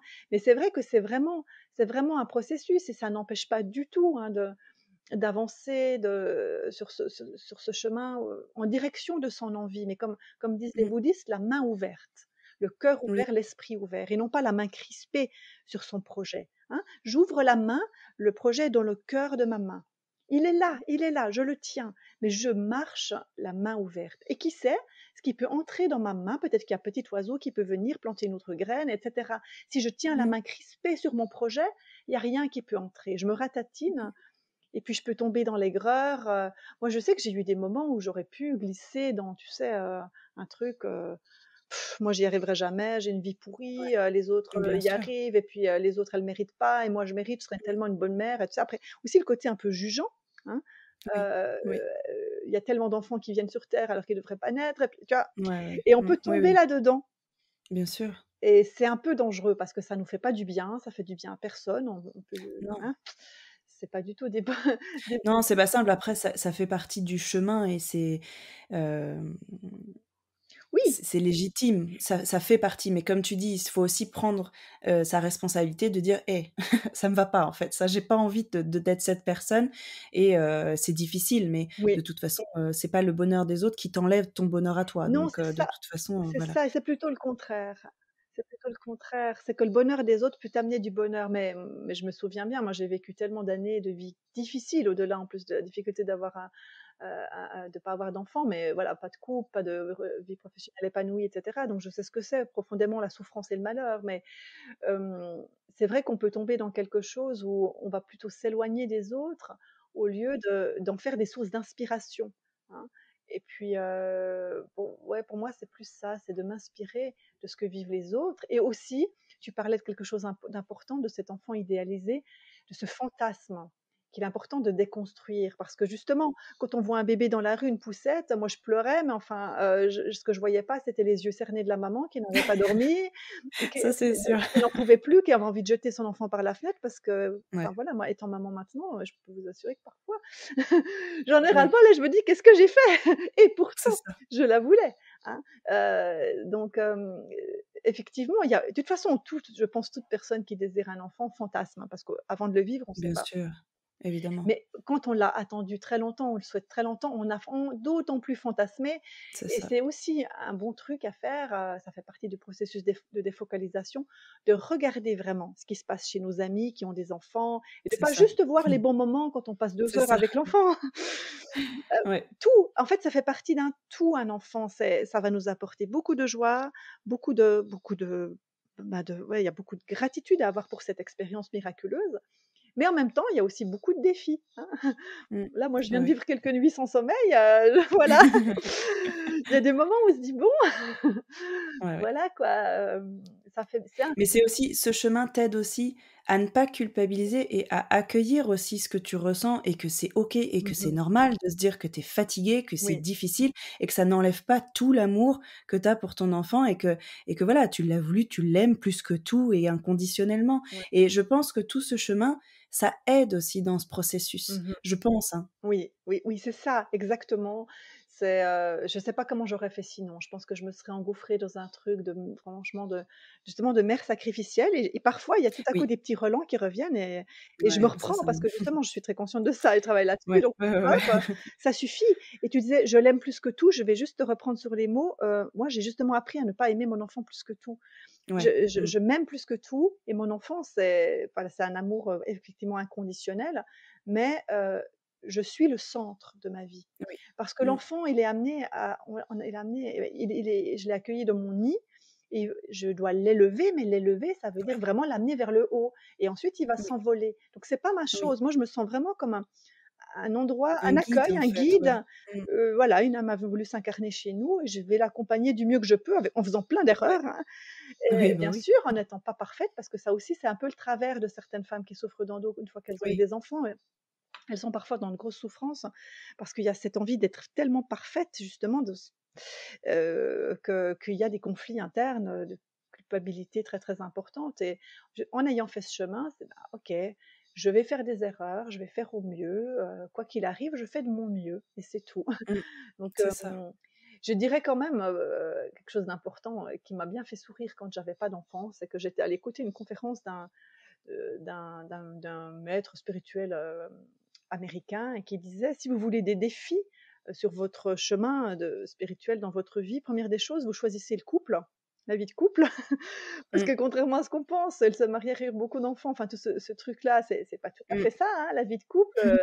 déjà, c'est des défis, c'est un, un, endroit pour grandir. Il n'y a pas que du rose et puis des petits papillons dans, dans, dans, le, dans le, ventre. Hein. Quand on a une vie de mmh. couple, il y a aussi des défis. Et puis il disait, ben, second défi, vous faites des enfants. Et puis moi, tu vois, à l'époque, j'avais ni, ni, couple épanoui, ni enfant. il y avait une partie de moi qui entendait. Puis il y a une mmh. partie de moi qui était là, mais attends, tu, rigoles? Mmh et aujourd'hui, je comprends, parce que j'ai les deux. Tu vois, euh, c'est des, des, laboratoires pour grandir et, et c'est très beau, hein, on apprend beaucoup de choses de soi, mais c'est aussi des défis et de, et de, le, de le savoir à l'avance, même s'il même s'il y a une part de nous qui, qui est dans le déni, c'est quand même bon de le savoir et de l'entendre. Parce que comme tu disais, c'est une graine qu'on plante et, parfois quand il y a un moment de désespoir, et c'est important de, de revenir à ça. Oui, mais ok, qu'est-ce qui est là maintenant pour moi mmh. hein? Quelle est la possibilité que j'ai que je n'aurais pas si j'avais un enfant en ce moment? Ça, mmh. c'est sûr. Mmh. Donc, ouais, c'est c'est un processus, comme tu disais, que ce soit le processus de ce que j'appelle moi de guérison au sens holistique du terme, de la maladie, que ce soit le processus pour, pour, pour aller cheminer vers la maternité, eh bien, c'est un, un chemin. et certaines diront, oui, mais moi, toutes mes copines ont réussi à tomber enceinte facilement. elles, elles n'ont pas dû se poser toutes ces questions, elles n'ont pas dû faire ce chemin. Moi, je dirais: «Ouais, OK, mais elles ont d'autres, défis dans leur vie». Ah ouais, mais c'est sûr, Hein? c'est sûr et puis c'est des questions, malgré tout qui peuvent, revenir donc pendant la grossesse, pendant le Mmh postpartum et cetera et typiquement, le fait de se poser la question si on est bien dans notre vie professionnelle et cetera, ça arrive très souvent après l'accouchement, Mmh une fois qu'on est maman. Oui, et en fait, c'est des questions qui sont beaucoup plus complexes aussi oui, à se poser une oui, fois qu'on a un enfant. Parce que les responsabilités sont pas les mêmes, les contraintes sont pas les mêmes et que tout ce qu'on peut faire avant, la vie est quand même plus fluide et Mmh plus simple sans enfant. Donc, hem, faut aussi voir tout ce qu'on peut faire oui, aussi avant d'avoir un enfant, tous les cadeaux qu'on peut se faire et comment on peut aligner au mieux sa vie, heu, tant qu'on n'a pas d'enfant, quoi. c'est ça. C'est vraiment aussi tout ce temps qu'on a. Je je me rendais Ouais, pas ça compte. En fait, des fois, je me dis: «Mais qu'est-ce que je faisais de mon temps avant? Pourquoi pourquoi Oui, j'utilisais pas davantage? J'aurais pu faire ça, ça, ça, ça, ça» et bon, parfois on le fait pas, hein, et puis après on regrette et ce qui ce qui se passe aussi, c'est que l'énergie de l'enfantement, c'est une énergie de création. C'est ce que je disais, hein, par rapport à l'utérus et et ce qui s'est passé pour moi, c'est que c'est en me mettant vraiment tout mon potentiel dans mon énergie de création, donc mon activité professionnelle, déploie déployer vraiment ma mission, heu, tout ça, tout ça et ben, évidemment, ça a amené une énergie créatrice. J'étais enceinte de vie, comme je le disais, et ça a pu aussi amener l'enf l'enfantement biologique. Mais si tu veux, d'un point de vue du timing et du point de vue enfin, c'est pas forcément j'ai eu tout en même Oui, temps, oui. donc c'est pas facile à gérer. Par contre, c'est la dynamique qui est quand même intéressante. C'est que plus je vais me mettre dans cette ce mouvement de d'être créateur, cré créatif et ça peut être, professionnel, hein, ça peut être autre chose, eh bien, ça va stimuler, si tu veux, le processus d'enfantement et du coup, il Mmh. va pas forcément se passer au moment qu'on qu'on décidait, qu'on aurait considéré comme étant le moment, Mais agréable. oui, mais c'est ça c'est ça aussi, c'est qu'il y a plein de choses comme ça dans la vie où on se dit, heu: «Là, c'est pas le moment» ou «Là, ce serait le moment idéal». Il y a pas de moment idéal. Non. De toute façon, on n'a pas la main dessus. Donc justement, faire confiance aussi, dans la vie, dans l'univers, dans ce que co comme vous voulez l'appeler, mais faire confiance que la vie sait, en fait. Ouais. C'est mieux que nous quand on est prêt, en fait. Quand on est prêt à vivre cette nouvelle expérience, en fait. Et c'est aussi ça le le le chemin que j'ai parcouru, heu, grâce à toi Mmh. notamment et à à d'autres personnes. C'est vraiment de d'accepter la situation. Je mon souhait est là, Mmh mh. mais c'est plus j'ai vraiment compris que j'avais mis en place, je mets en place au quotidien ce que je peux faire pour optimiser ma fertilité, pour que ça puisse marcher, Mmh mais le reste ne m'appartient pas et j'ai confiance en plus grand que moi, que si je dois être mère, je le serai quand je dois l'être, en fait. ça. Et et ça veut pas dire que c'est comme ça tous les jours, ça veut pas Mmh dire mh. que je pleure pas, Mmh mh. heu, certaines fois quand j'ai mes lunes, Mmh enfin, voilà, il y a des moments difficiles. Mais c'est vraiment être dans l'accueil et dans la la foi profonde Mmh que si ça doit arriver, ça arrivera et quand ça doit arriver. Tout ça, en fait, on n'a pas la main dessus. Non, on n'a pas la Même main. avec une PMA, de toute façon. c'est ça, même avec une PMA, même ve avec un appel d'âme, hein, comme je le fais avec les femmes, heu, des fois on on appelle une âme en fait, hein, heu, pour venir dans ce foyer, heu, s'incarner. Mais, heu, moi j'ai pas la recette, le mode d'emploi et je signe pas une garantie pour dire: «Ben voilà, dans dans 1 mois tu es enceinte». En fait, C'est le temps, il y a un temps divin et ça, ça n'appartient à personne. Moi, si j'avais pu choisir avec ma tête, je serais peut-être pas tombée enceinte à 40, je serais tombée peut-être enceinte un peu avant. Mais en finalement, quand je regarde ma vie, je me dis que tout est parfait et qu'en fait, heureusement que j'ai eu l'enfant à Mmh. ce moment-là. Des fois, je me dis: «Mon Dieu, mais qu'est-ce que j'aurais fait d'un enfant à 30 ans?» J'étais pas du tout moi, dans ma pro mon propre chemin, j'aurais pas du tout Oui. pu le faire. Alors d'autres femmes, oui, Mais je, moi, je suis final, au final contente compte tenu de, l'évolution qui est la mienne. C'est le, c'est le temps qui est le mien. Même si, ben voilà, il y aurait eu peut-être des avantages à avoir des choses comme ci, comme ça, mais on s'en fout de tout ça. Finalement, ça n'a mmh. plus d'importance. L'essentiel, c'est que je vive les choses comme c'est juste pour moi, en arrêtant de me comparer à mes copines. Et je sais combien c'est difficile parce que quand on a un enfant comme moi à 40 ans et puis que tu imagines bien que la phase de la trentaine, 30-35, évidemment, il y a toutes les copines qui ont des enfants et du coup qui ont moins de temps disponible pour sortir, avec tout ce qui va avec. C'était très très douloureux, bien entendu. Hein. mais aujourd'hui, ben voilà, je me dis ben c'était mon chemin. du coup, j'ai moins de j'ai moins de copines aussi pour partager cette expérience. Je la vis autrement, mais je la vis autrement et ma vie, ma fille vit aussi cette vie de, petite fille autrement peut-être qu'un autre enfant, et peu importe, elle est, très heureuse et et elle a choisi aussi. C'est ça, elle a choisi. Donc, du moment que tu sais que tout, est, tout est juste, tout est parfait, tout est, voilà. je mmh. dis, il n'y a, pas, y a, y a plus trop à se prendre la tête. Mais, mais ça ne veut pas dire, effectivement, comme tu le dis, je pense que c'est important de le répéter, qu'il n'y a pas des moments de blues, il n'y a pas des moments de révolte, il n'y a pas des moments où on, en a ras-le-bol et on aimerait être dans la peau de quelqu'un d'autre. Oui, mais bien sûr, et c'est OK et c'est normal. Il faut accueillir aussi ces émotions. Il faut surtout pas les, les, mmh, enfin, fermer les yeux face à ça. C'est OK et il faut pas s'en vouloir et c'est normal de passer par des phases comme ça. Et ça fait partie du processus, ça fait partie du chemin. Euh, voilà, toutes les émotions sont bonnes à accueillir et justement, il faut les regarder en face et il faut dire OK, je t'entends, je t'entends. Tu es en colère, tu, tu en mmh as marre et, et c'est OK. Tu as le droit et si tu as envie de rien faire et de crier aujourd'hui, bah, fais-le. C'est ça. D'autant plus que si vous avez de l'endométriose, c'est une maladie de femme en colère. Donc allez travailler sur votre colère. Ça va faire du bien de sortir la colère du ventre d'ailleurs. Mmh, mmh. Petit aparté, mais oui. Ouais. de toute façon, on aura encore plein de choses à dire, mais pour, pour terminer, est-ce que tu peux nous expliquer comment tu travailles? Est-ce que c'est uniquement en cabinet? Est-ce que c'est à distance? Est-ce que c'est uniquement des séances en face à face mmh Je crois que tu es en train de travailler sur un magnifique projet, donc si tu veux nous en dire plus sur tout ça. Alors en fait, je travaille pratiquement plus en cabinet. Je travaille uniquement ou presque, en tout cas pour les séances individuelles, je travaille par Skype, puisque j'ai maintenant des patients dans le monde entier. Donc pour, l'organisation et tout ça, pour moi, c'est plus facile par Skype. Ça, il suffit d'avoir, enfin Skype en tout cas par Internet, il suffit d'avoir une bonne connexion Internet et je travaille au niveau inconscient, cellulaire, avec hypnose, etc. la distance ne pose aucun problème. Donc je travaille en sciences individuelles à distance, voilà. Et puis, effectivement, j'ai des groupes en présentiel, mais ça, c'est plus mon activité en Suisse. Maintenant, avec la situation mondiale, de toute façon, c'est plus complexe. ouais. Mais au moins, on peut continuer de travailler à, distance. Et puis, effectivement, je suis en train de, de, créer un programme en ligne spécifiquement pour les femmes souffrant d'endométriose. Mmh je le co-crée avec une autre thérapeute, Bertie Flory, et on va là pas se focaliser spécifiquement sur le, désir d'enfant. Par contre, on, propose un accompagnement pour vraiment se lancer dans cette cette, cette plongée en fait dans cette forme de guérison au sens large du terme, avec des mesures concrètes, ce qu'on peut mettre en place au quotidien, ce que toi-même tu proposes, hein, Mélanie, mmh. voilà des choses très très concrètes. Et moi, je suis plutôt sur la partie justement travaille sur un plan inconscient, sur cette symbolique, sur ces niveaux de l'enfant blessé, de la femme blessée, du féminin et du masculin blessé, parce qu'il y a des énergies très dysfonctionnelles chez femmes qui sont dans l'endométriose par rapport à ça. Donc, on va plutôt, je vais plutôt aller travailler sur ces plans-là. Et donc, ça, c'est un programme en ligne qu'on est en train de, de concocter et qui sera dispo, je pense, d'ici à, d'ici à mars. Voilà. Super. Bon, dernière ligne droite.